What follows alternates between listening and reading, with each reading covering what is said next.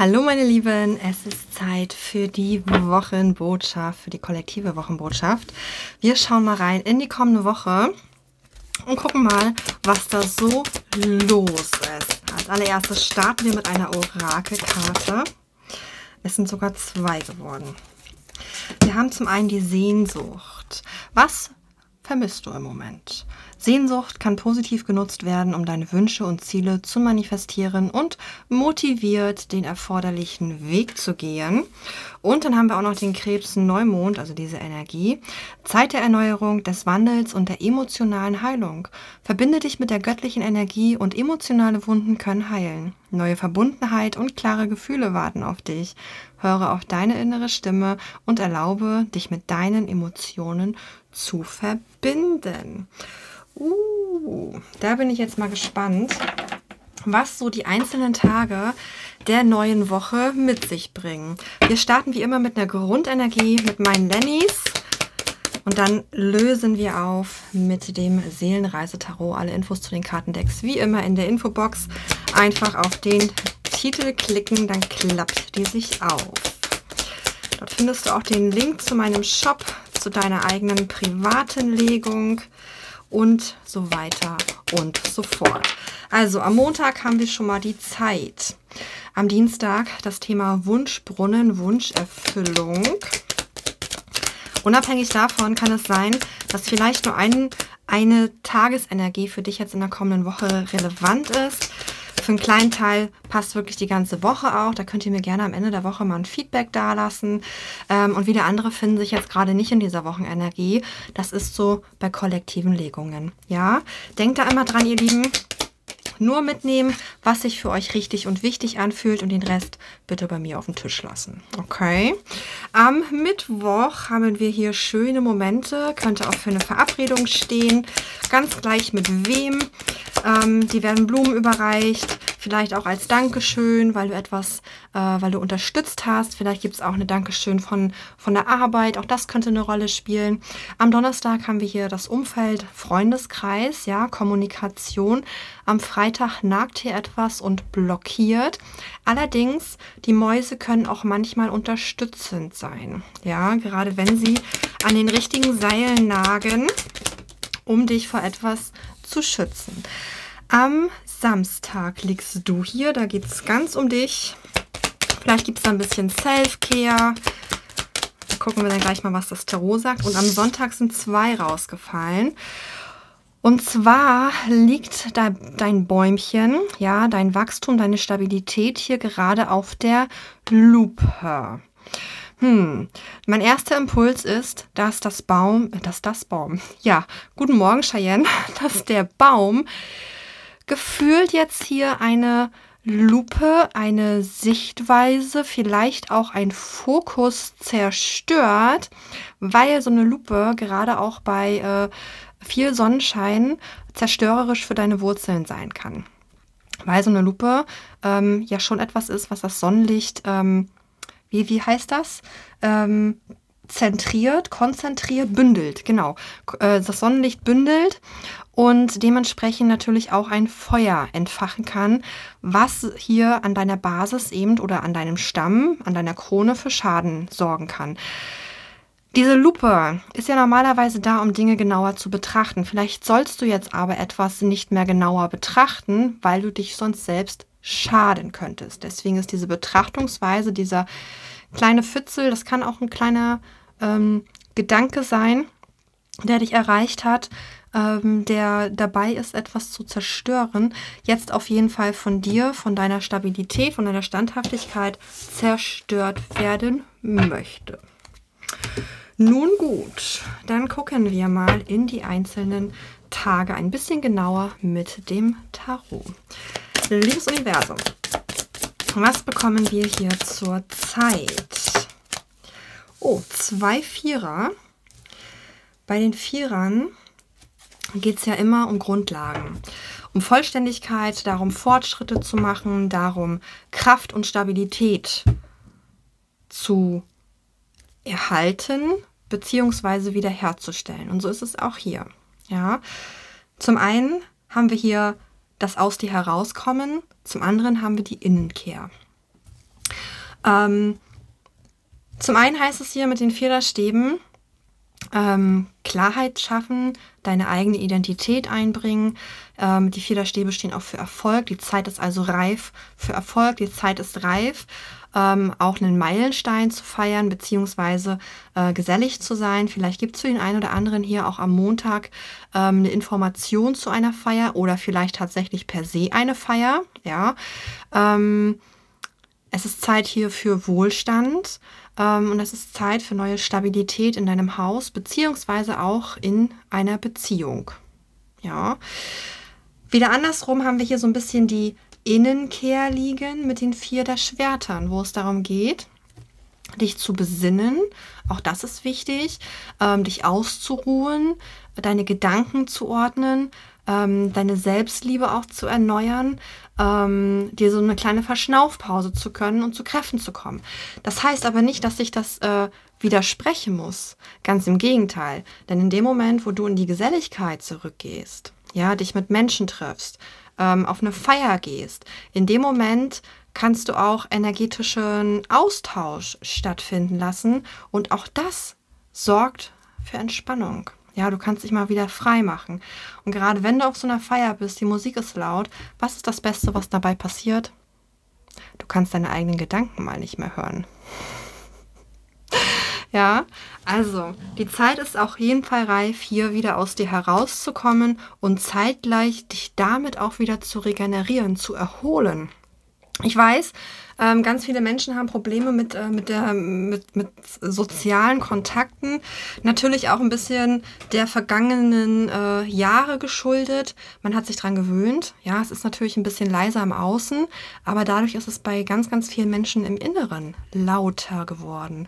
Und das kann auch mal für Probleme sorgen. Ja, und gerade wenn die inneren Stimmen immer lauter werden, ähm, sind es dann nicht immer nur positive innere Worte, die wir uns zusprechen, sondern es sind auch ganz, ganz viele negative Worte.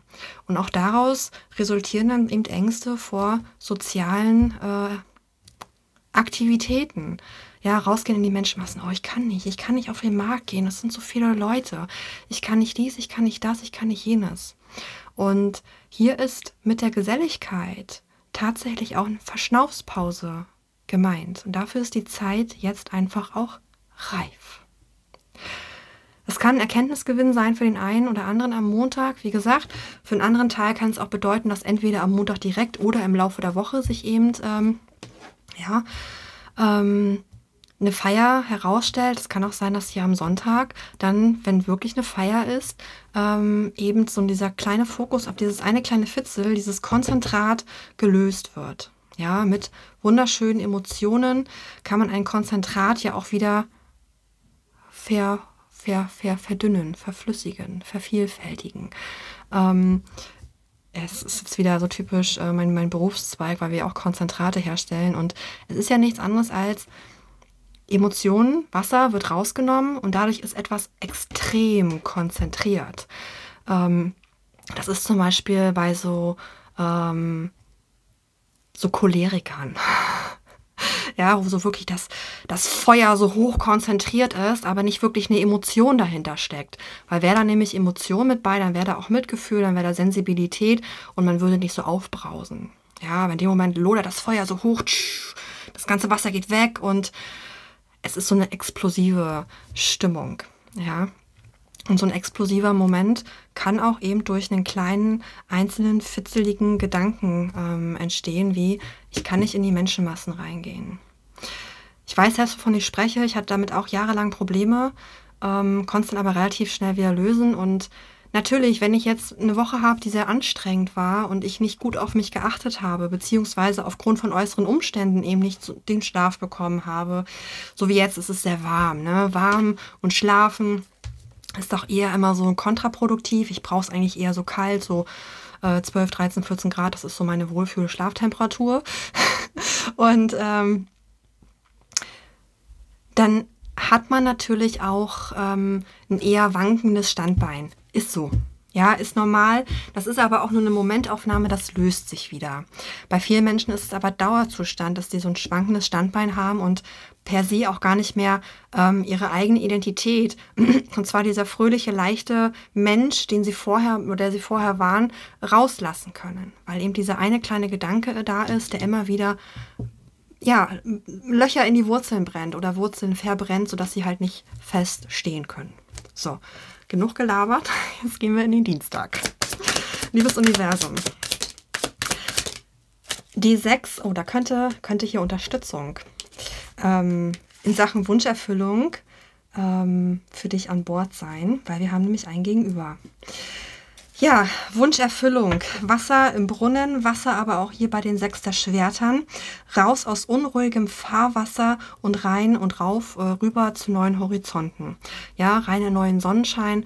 Und die Sechster Schwerter, das ist immer, ich sag auch gerne mal, geführte Neuausrichtung. Ja, ähm, nicht im Sinne von, du lässt dich jetzt führen, äh, von einer anderen Person, sondern du lässt dich vom Universum führen. Aber das Universum per se kann dich ja auch nicht gefühlt an die Hand nehmen und auch Mensch kann jetzt dich nicht wirklich an die Hand nehmen und dich führen, aber kann dir dennoch ähm, Personen senden, die dir mal so äh, die Richtung anzeigen können. So nach dem Motto, da geht's lang.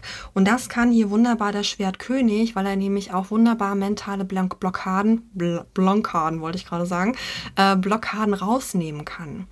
Das kann Mann sein, das kann eine Frau sein, ein Gegenüber. Eine Person in deinem Leben, das kann dein Partner sein, das kann deine beste Freundin sein, das kann auch deine Mama sein, deine Schwester, dein Bruder, dein Vater ein Arbeitskollege, Kollegin, whatever. Irgendeine Person, mit der du es zu tun hast, gibt dir hier einen wegweisenden Ratschlag. Weil Schwertkönige sind unglaublich einfühlsam, sie sind sehr, sehr weise, sie sind sehr intelligent, sie sind äh, wunderbare autoritäre Personen, sie haben immer so eine Mischung aus mental und äh, spirituellem Bestreben. Das heißt, gerade ähm, was auch so ähm, persönliche Weiterentwicklung angeht, da haben die einen Riecher für. Ja, ähm, die melden sich auch ganz, ganz oft genau dann, wenn du sie äh, vermeidlich brauchst, auch wenn du es noch nicht wirklich weißt, aber sie haben da einfach einen Riecher für. Und gerade weil du hier in der Neuausrichtung bist und vielleicht ein bisschen Angst hast, hier nicht aus deinem unruhigen Fahrwasser, aus deinen unruhigen mentalen Belastungen, mentales Fahrwasser herauszukommen, können die hier nochmal ein wunderbarer Anschubser sein, um dich hier in deine Wunscherfüllung zu hineinbringen zu können, um dich zu deinem Brunnen zu be bewegen, weil dein Brunnen ist hier auf dem Festland. Ja, ein Brunnen ist nicht auf dem Meer. ja, und die sechste Schwerter ist einfach eine Veränderung. Du überwindest hier Widrigkeiten. Das ist auch eine sehr, sehr schnelle Energie. Ja, die sechste Schwerter sind von der Zeitqualität her sehr, sehr schnell. Und ähm, heißt aber auch Vergangenheit loslösen und kündigen dementsprechend auch einen Anfang an, der dir jetzt bevorsteht. Hier ist aber auch schon die Bitte um Hilfe für Lösung drin. Ja, du brauchst für etwas Hilfe, Unterstützung und wie gesagt, Schwertkönig kann das wunderbar riechen, Schwertkönigin übrigens ebenfalls auch, wenn da irgendwo in deiner Persönlichkeitsentwicklung ein ja, Energiebaustein gerade so ein bisschen äh, in die falsche Richtung driftet. Das riechen die.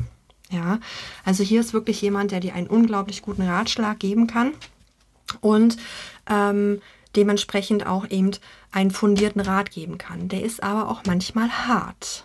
Ja, der kann für außenstehende Menschen sehr hart sein.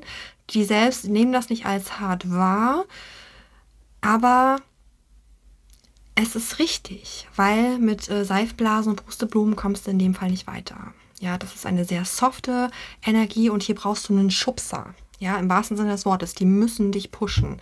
Und das wirkt wirklich erstmal hart. Aber hart, aber herzlich, sage ich immer zu den Schwertern. Ist so. Ja, also Dienstag hier fundierter Ratschlag, Hilfe von oben, in Anführungszeichen, durch eine andere Person bezüglich deiner Wunscherfüllung. Was auch immer dein Wunsch sein mag. So, dann haben wir hier, oh, das Ass der Stäbe. Die Gelegenheit hat hier Potenzial. Hier ist auch schon der Neubeginn angezeigt. Hier kommt neue Kreativität rein. Hier kommt neue Energie rein. Hier ist die Ankunft von Inspiration. Hier ist Erleuchtung. Hier gehst du mutige Schritte nach vorn. Das heißt, du ergreifst auch die Initiative bezüglich schönen Momenten. Ja, neue Ideen und die Fähigkeit, alles zu manifestieren, geht hier mit dem Ast der Stäbe einher. Das ist eine Chance, die dir gereicht wird, ein äh, brennender Stab, beziehungsweise äh, du brennst hier schon vor Leidenschaft und ja, hier hinter scheint die Sonne, der Stab, der ähm, hat hier grüne Blätter. Das heißt, hier ist das Potenzial, ein neues, ja, etwas Neues in die Welt zu setzen.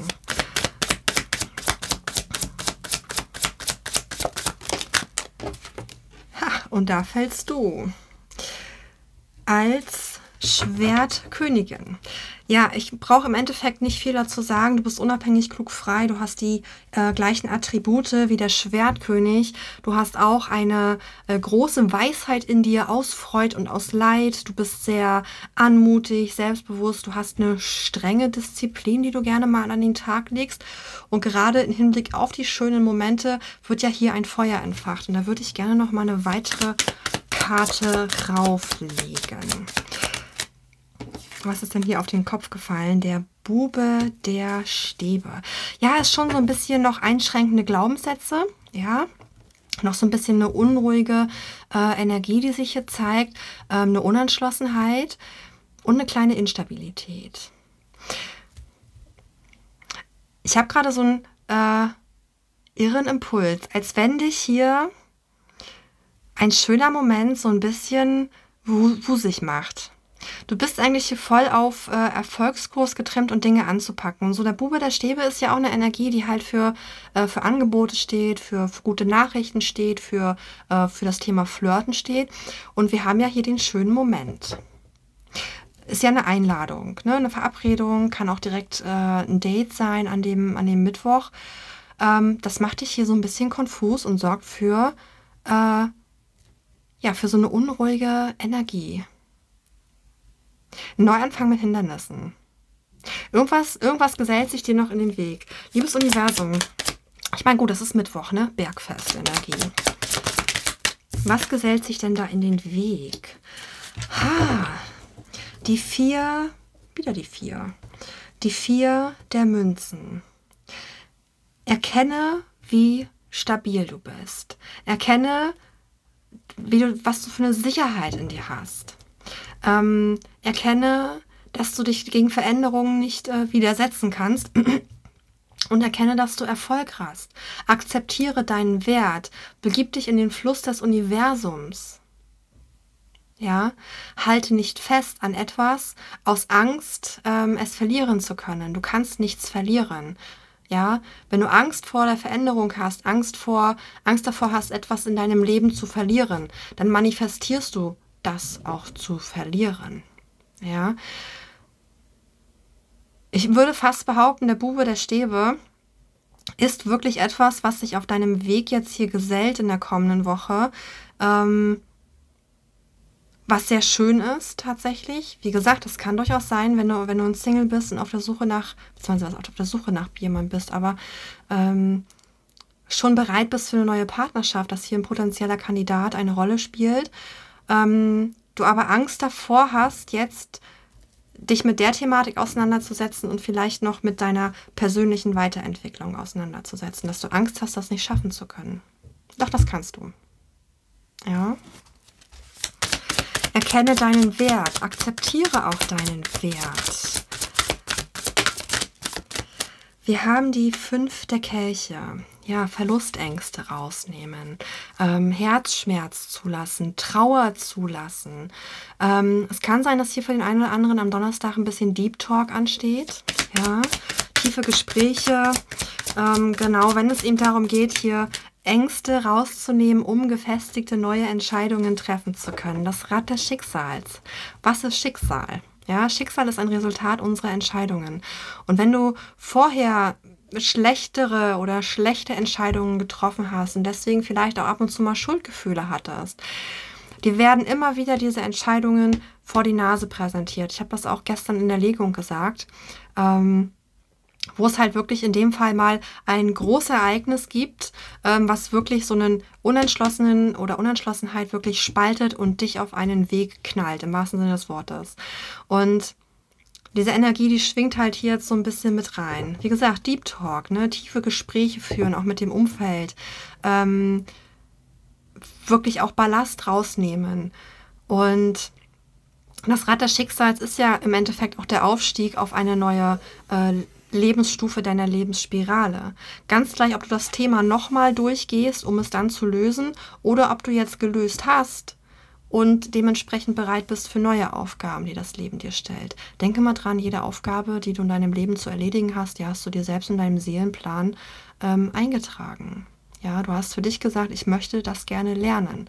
Ich möchte es gerne lernen, ähm, ja, in einen langfristigen Erfolg reinzugehen. Oder ich möchte gerne lernen, in eine langfristige Beziehung hineinzugehen. Ich möchte gerne lernen, mich nicht mehr auf irgendwelche, ja, unsicheren Menschen einzulassen.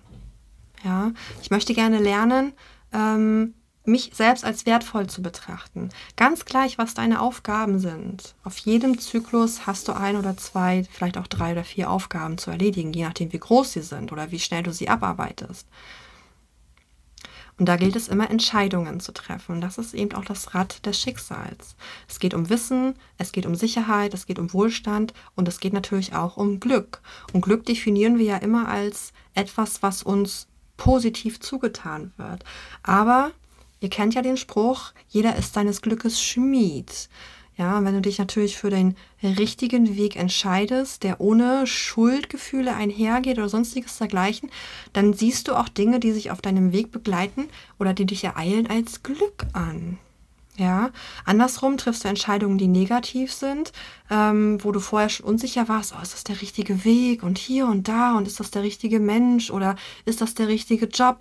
Ja, dann wirst du da keine Erfüllung mitfinden und sagst dir natürlich immer wieder, oh, ich habe ja so Pech.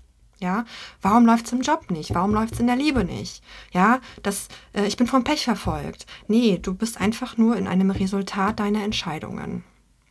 So, und jetzt darfst du hier am Donnerstag, wie gesagt, Herzschmerz loslassen, ähm, auch Verlustängste loslassen, wie gesagt, Trauer vielleicht auch nochmal durchleben.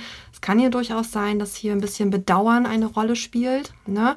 Ähm, Selbstmitleid, dieses Sohlen im Selbstmitleid ähm, ist auch mit den fünf der Kelchen gekennzeichnet. Deswegen sage ich ja Deep Talk. Ja, andersrum, wie gesagt, du hast hier jemanden an deiner Seite und vielleicht auch in deinem Umfeld, und da kommen wir wieder mit den Mäusen ins Spiel, die vielleicht positiv nagen, ähm, wo es darum geht, jetzt eben eine positive Entscheidung für dein weiteres Vorangehen zu treffen.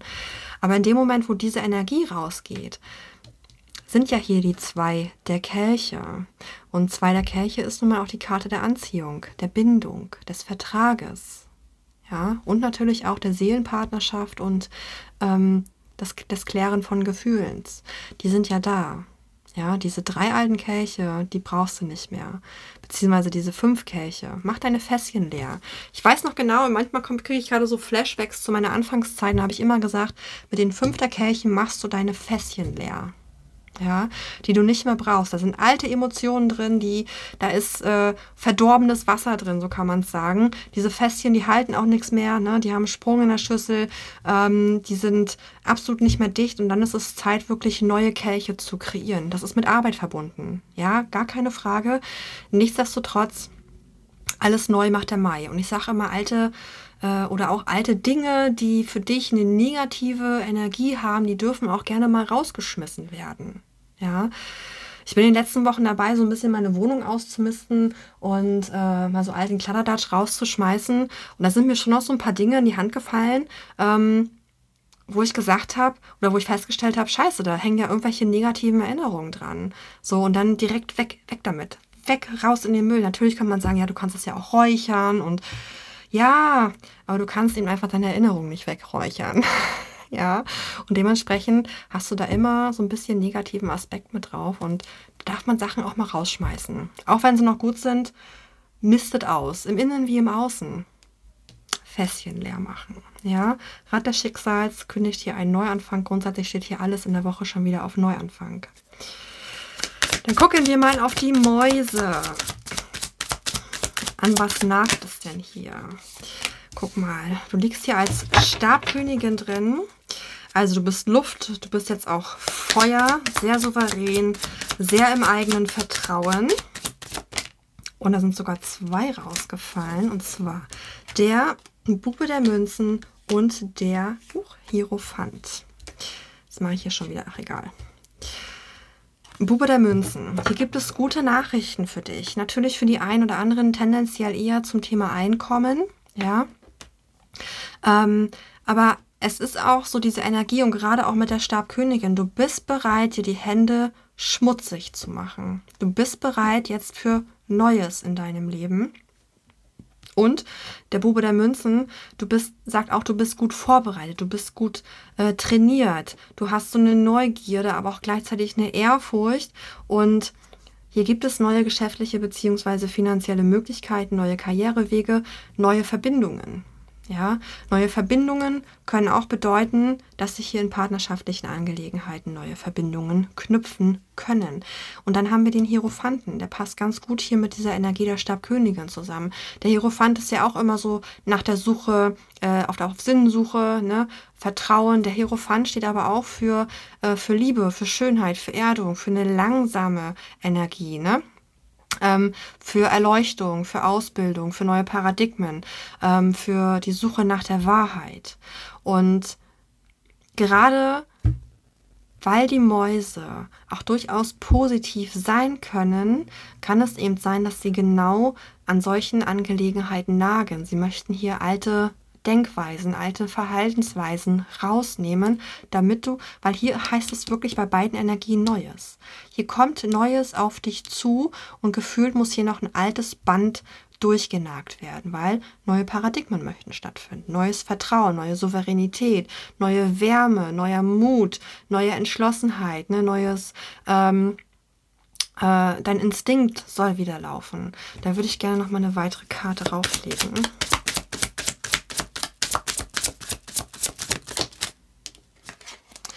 Ja, ein Aha-Moment. Und auch das Schwert schneidet.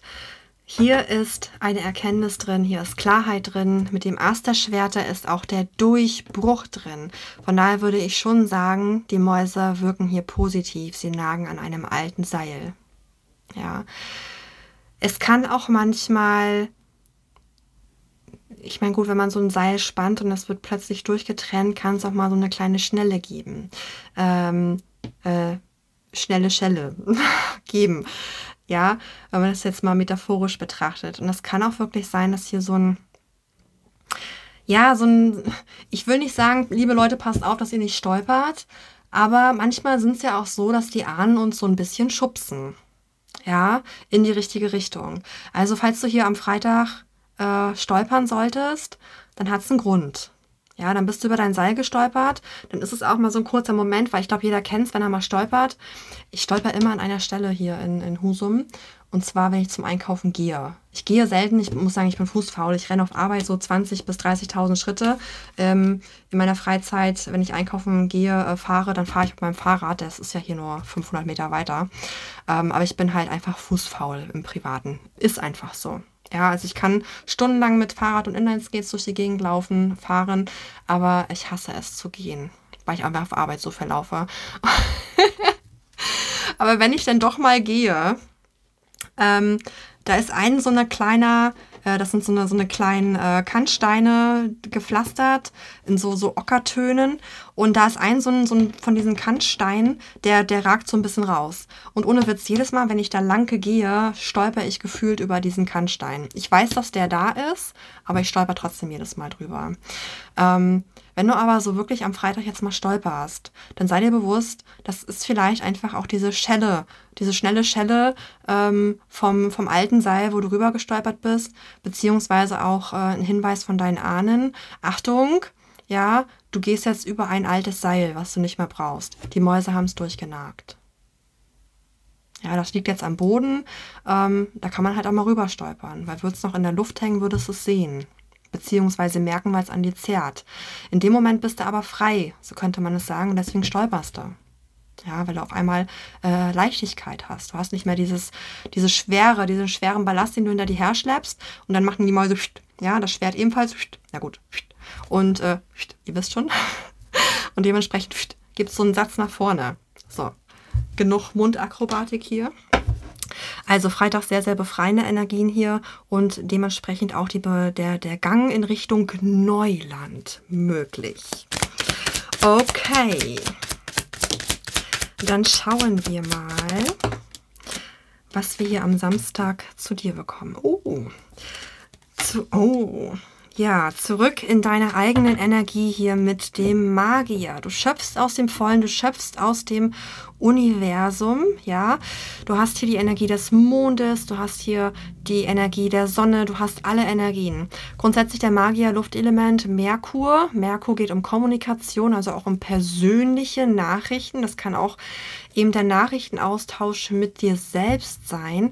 Und in der Numerologie steht die 1 einfach für Projektstart ja, für, ähm, für deine kreativen Bemühungen. Es geht darum, ja, Alpha, ne, dominant, ehrgeizig, originell ähm, zu sein. Die Eins, die beherrscht den Raum, nicht die Zeit. Das heißt, es geht auch nicht um den Zeitfaktor, es geht aber darum, wie viel Raum du für dich einnimmst und für deine Projekte einnimmst.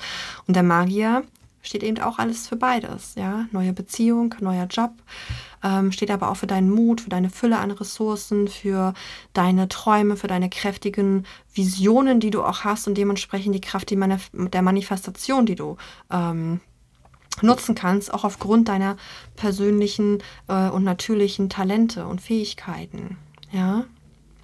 Es ist auch deine Intention, die damit reingeht, dein Wirken, ja, vielleicht auch auf andere. Und denke, das wird dir hier am Samstag bewusst werden. Und wir haben hier mit den sieben der Kelchen die Karte der Fantasie und Schwärmerei. Und ich würde es jetzt auch tatsächlich mal ähm, so sagen sondern ich würde jetzt wirklich auch sagen, ähm, wir haben jetzt nicht unbedingt diesen negativen Beigeschmack der sieben äh, Kelche, auch wenn sie richtig rumliegt. Ich würde einfach sagen, du hast viele Optionen. Ja, du wirst dich natürlich entscheiden müssen, welche Option du wählst, gar keine Frage. Aber ich würde wirklich sagen, du hast hier aufgrund von Fantasie eine Erweiterung, auch eine emotionale Erweiterung und bist dadurch natürlich in der Lage, jetzt ähm, deine Optionen überhaupt zu sehen. Ja, was dir vorher nicht möglich war. Vorher hast du vielleicht bloß einen Weg gesehen und der eine Weg, der war eher so, hm, oh, ja, ist alles doof, ne? Es läuft nicht hier und da und tralala. Und jetzt kommt hier diese Energie rein von, du hast alles, was du benötigst, um vorwärts zu kommen. Ja. Genau. Hier ist auch die Notwendigkeit gekennzeichnet, dich vorwärts zu bewegen. Ja, das heißt, es geht weiter. Dennoch ist es für mich in dem Moment auch mit dem Erkenntnisgewinn, ich glaube, ich lege da mal eine weitere Karte drauf, natürlich auch eine Energie, die erstmal so ein bisschen still steht. Und das ist auch in Ordnung. Die beiden stehen natürlich in der Situation auch still. Es geht also auch hier um Aktivierung, es geht um die Möglichkeiten, es geht um die Balance, es geht um das Zuhause. Ne? Sechsen, Sechser sind ja auch, oder die sechstes Jahr steht ja auch für Lösungen, für Heilung, für Empathie. Das heißt auch Energieaufnahme des Gegenübers, genauso aber auch Energie rausteilen ans Gegenüber. Ja, gegenseitige Energieaufnahme. Das passiert auch beim Küssen und beim Sex und beim Umarmen. Ja, wir tauschen Energien aus. Und da wären wir wieder beim, äh, beim Anfang der Woche, wo es darum geht, wieder rauszukommen, wo es darum geht, wieder Energien auszutauschen. Ganz gleich in welcher Form, ganz gleich, äh, ja, macht nichts, was ich nicht auch tun würde, würde ich jetzt an dieser Stelle sagen. Aber wenn du in die Dualität möchtest, im Außen, sei es beruflich oder auch liebestechnisch, dann musst du auch quasi wieder ins Außen gehen. Jetzt habe ich gerade die 33, 33 drauf gehabt. Ja, Anfänge, neue Energien. Die Liebenden sind ja nicht nur, ist ja nicht nur die Liebe, Natürlich ist es auch die Liebe, sondern es geht auch um die Herzensentscheidungen. Ja, es geht um die Harmonie, es geht um Transformation der Liebe, es geht um das Vertrauen ins eigene Herz, die erlauben dich zu verlieben. Es geht auch um die Sehnsucht. Ja, wenn deine Sehnsucht Liebe ist, dann geht das auch nur, wenn du dich öffnest, wenn du rausgehst. Und natürlich heißt es hier für den einen oder anderen, weil wir ja hier auch schon das Potenzial, also grundsätzlich das Potenzial haben, hier viele Begegnungen zu tätigen. Ich würde sagen, der ein oder andere, für den diese Wochenbotschaft im Ganzen passt, der ist wirklich in der kommenden Woche viel draußen, viel unter Menschen, neben Menschen, whatever. Und wir sind ja erwachsen hier. Ähm, und hat viel mit Menschen zu tun. Und ich würde sagen, so viel mit Menschen zu tun, wie, ähm, wie du vorher noch nicht mit Menschen zu tun hast oder lange nicht mehr mit Menschen zu tun hattest. Ja, und dann kannst du wirklich so ein bisschen deine Sozialangst äh, auch lösen über die Woche. Die Liebenden ist aber auch ganz klassisch die magische Vereinigung, ja, die Seelenpartner, die, äh, die gesunde ähm, Partnerschaft, ja, und einfach auch die Liebe, Liebe, ja, sich verlieben, sich erlauben zu verlieben. Das ist eine Entscheidung, die man trifft in dem Moment und die kommt nicht aus dem Kopf heraus, sondern die passiert einfach. Man verliebt sich einfach, ohne groß darüber nachzudenken und sich zu sagen, ich verliebe mich jetzt. Ja, sondern es macht einfach klack. Und dann ist sie da. Liebe passiert einfach. Ja. Genau in dem Moment, wo es halt passieren soll.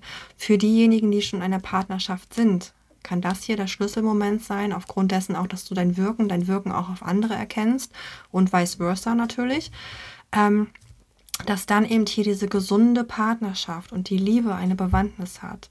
Für die anderen, die noch in keiner Partnerschaft sind, kann es dann sein, dass hier der Entschluss getroffen wird, dich eben zu äh, dir zu gestatten, dich zu verlieben. Ja, wieder für andere heißt es hier Herzensentscheidungen für Job zum Beispiel. Ja, ganz gleich, ob du dich mit dem Herzen für, für einen neuen Job oder für die Liebe entscheidest. Völlig egal, aber das ist hier ein Erkenntnisgewinn. Du erkennst deine Optionen und wirst quasi so ein bisschen nach vorne gedrängt, jetzt den nächsten Schritt zu machen. Ja, und damit gucken wir jetzt auf den Sonntag, wo der Baum einen Schatten auf die Lupe macht, damit man sich selbst nicht länger verbrennt. Wie passend ist das denn bitte? Ihr Lieben. Die Acht der Schwerter auf dem Kopf ist das Loslösen von Hemmungen, von Blockaden, von negativen Glaubenssätzen, von, von Zwängen, ja, über die Angst hinausgehen, klare Gedanken, ähm, dir selbst wieder vertrauen, mutig sein. Und klare Gedanken schafft man, indem man einen unklaren Gedanken, an dem man sich lange aufgehalten hat, endlich rausnimmt. Also diese Lupe ist absolut irrelevant jetzt für dich und das erkennst du. Ja, dieses eine kleine Ding, womit du dich immer wieder selber massakriert hast. Dieser negative Glaubenssatz, negative Gedanke oder vielleicht sogar mehrere negative Gedanken.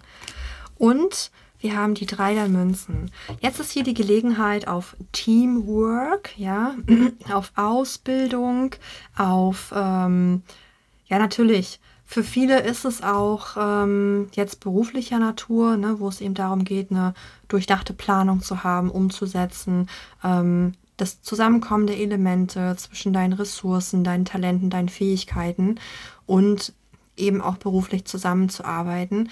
Und auch da hätten wir wieder das Thema mit Sozialangst, aus dir herausgehen, weil in dem Moment, wo du aus dir herauskommst, kannst du natürlich auch zeigen, was kannst du. Ja, bist du hier wunderbar drin, Gesichter zu malen? Bist du eher so derjenige, der wunderbar hier den, den Background malen kann?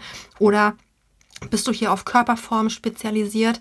In dem Moment, wo du aus dir herauskommst, öffnest du dich mit deinen Talenten, deinen Ressourcen für andere Menschen und kannst dich dementsprechend auch in die Gemeinschaft einbringen.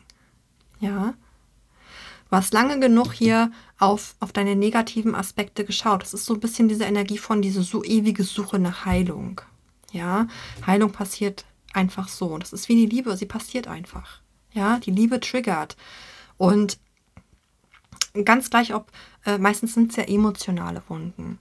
Und ähm, die dann bei uns im Krönchen dafür sorgen, dass wir hier uns einschränken. Ja, dass wir uns, dass wir dicht machen, dass wir äh, nichts Positives mehr raussenden können, aber auch nichts Positives empfangen können.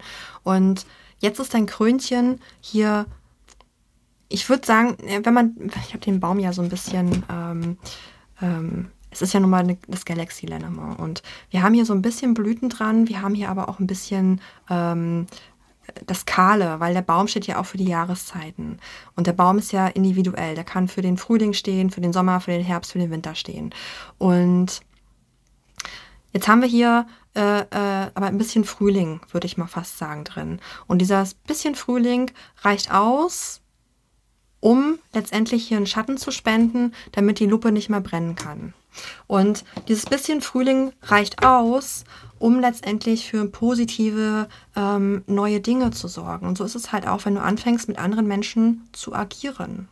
Ja, wieder ähm, in dich Selbstvertrauen reinsetzt, aber auch anfängst, anderen Menschen wieder zu vertrauen und festzustellen, okay, Teamwork makes the dream work.